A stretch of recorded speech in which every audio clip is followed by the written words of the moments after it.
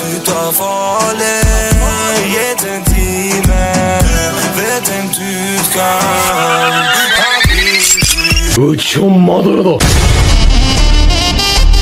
Do not misunderstand it. This is not power of your creation.